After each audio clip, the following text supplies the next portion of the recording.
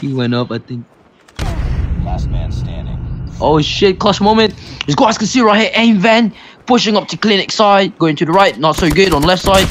Takes one sniper down, one guy on his right side, he's not expecting it. On his left, actually, good shit. He's running away. Aim van right here, hiding beside the canteen right here. Rotating to mid side, takes one down. He's looking for the last frag, as you guys can see right here. Kazi and Ben. I'm Ben cracked. takes it Oh down. my What a 1v2 God. clutch by Aim Ben Oh, here. This round. I'm Awkward not gonna lie, that's pretty good shout casting for Sisco. What the fuck?